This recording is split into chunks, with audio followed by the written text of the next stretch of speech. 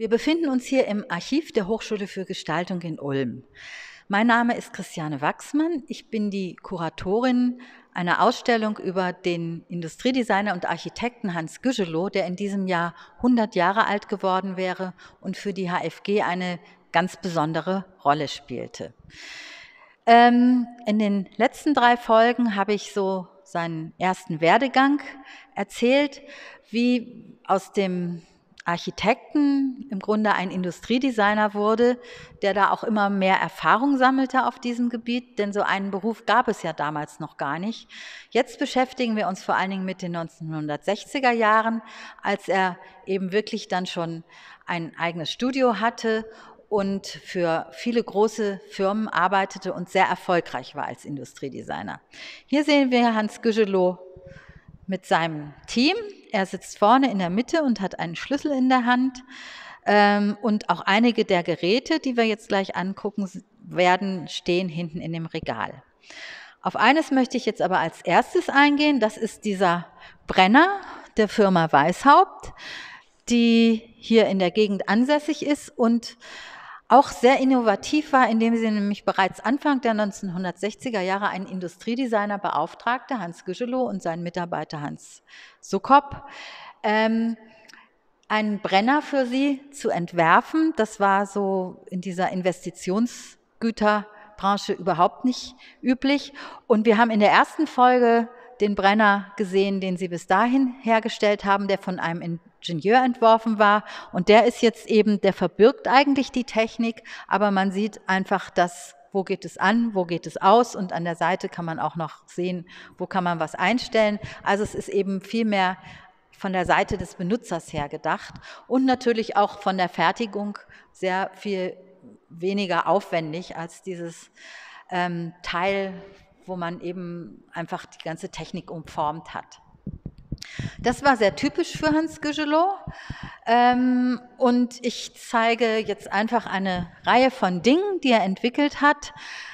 Ähm, unter anderem diesen Rasierer für die Firma Braun. Da gab es ein Vorgängermodell, ähm, das eben durch seine besondere Scherblatttechnik einfach auch sehr innovativ war und sehr erfolgreich. Und er hat dann aber diese Form eingebracht und diese Farbe Schwarz und Silber ähm, hat es, das ist also eigentlich ein Redesign. Ähnlich ist es auch mit diesem Kodak Karussell. Das hat ein Amerikaner entwickelt, aber Kodak wollte es dann noch für den deutschen Markt ähm, haben.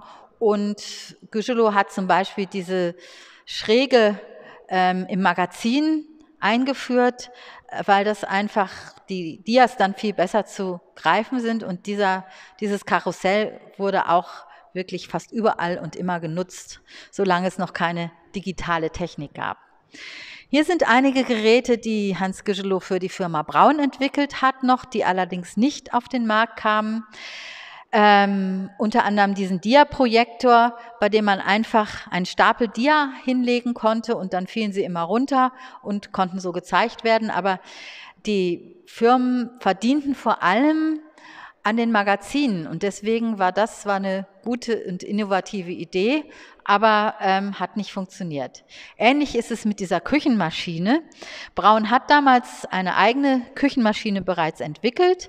Das ist dieses Gerät, wo sich die Schüssel automatisch drehte. Hans Gügelow hat dann einfach vorgeschlagen, dass man einen Motorblock macht der steht hier auch, mit dem man dann ganz verschiedene Sachen betreiben kann, also vom Rührgerät über die Schuhputzmaschine bis sonst wohin.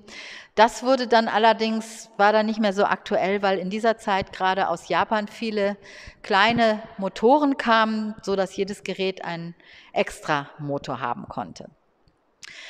Ähm, wir befinden uns hier ja in der Hochschule für Gestaltung und deswegen ist es auch nochmal ganz wichtig, auf den Unterricht zurückzukommen, der hier in dieser Ausstellung keine so große Rolle spielt, den man aber in unserer Dauerausstellung durchaus sehen kann. Ähm, am Anfang war es so gedacht, dass Studenten zusammen mit ihren Dozenten, also mit Hans Güschelow, an Geräten oder Entwürfen für die Industrie arbeiteten und dadurch auch das Geld für die Hochschule verdienten. Das hat aber nur so die ersten zwei Jahre funktioniert, denn dann kamen neue Studenten. Hans Gügelow drohte, seine alten Mitarbeiter zu verlieren und diese neuen Studenten hatten natürlich auch relativ wenig Erfahrung und es war auch schwierig mit der Geheimhaltung, wenn man für die Industrie arbeitet. Deshalb war dann so in den 1950er Jahren, Ende der 1950er Jahre der Unterricht, da gab es viele Studenten, die nicht so glücklich waren, weil Güchelot sehr auf diesen Aufbau seines Instituts ähm, daran arbeitete.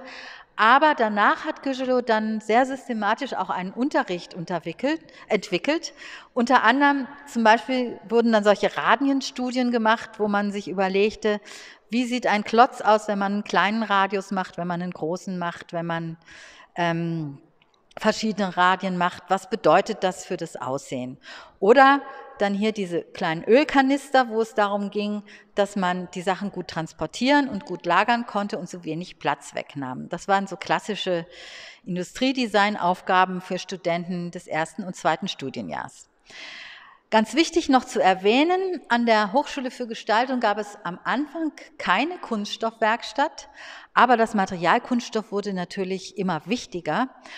Und sie wurde dann auch später eingerichtet und Hans Güschelow hat sich sehr auch damit auseinandergesetzt. Als Beispiel zeigen wir hier diesen Sessel, der eben eine Kunststoffschale hat und ähm, auch Kunststoffpolster. Hier auf diesem Foto sieht man ihn jetzt im Zusammenhang mit, ähm, mit der Anlage von braun, also es wirkt auch heute noch sehr futuristisch, diese ganze Einrichtung ähm, und passt aber auch ganz gut zusammen. So, das war jetzt die Folge, die vierte Folge über Hans Gügelot und in der nächsten Folge wird es jetzt einfach auch noch um seine internationale Bedeutung gehen und leider dann auch um das Ende seines Lebens. Er ist bereits 1965 gestorben.